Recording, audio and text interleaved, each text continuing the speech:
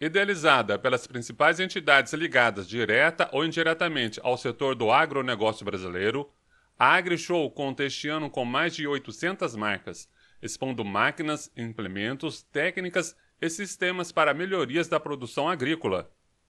No Brasil, 50% basicamente da economia brasileira gira em torno do agronegócio. Então, nós precisamos olhar isso com outros olhos, olhar isso com os, os olhos que realmente fazem com que esse setor seja o mais importante do Brasil.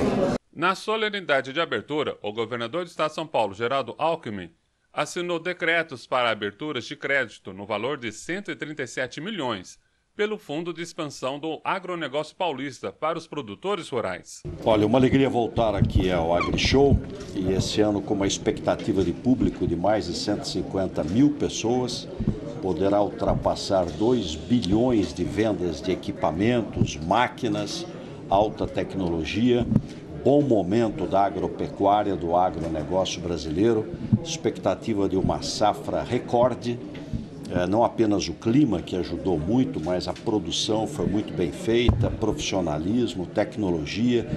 Isso vai ajudar muito o Brasil.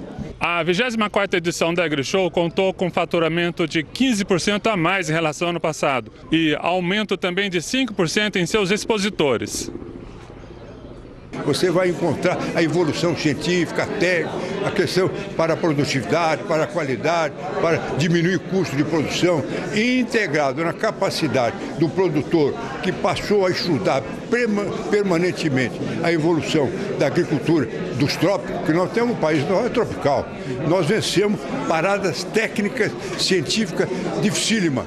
Por isso estamos abastecendo bem São Paulo com 47 milhões de almas. Né? Está sendo abastecido.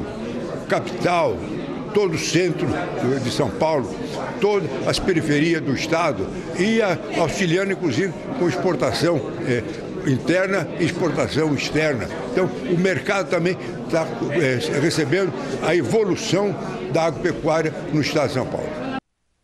Tadeu Donizete para o Ribeirão Web News.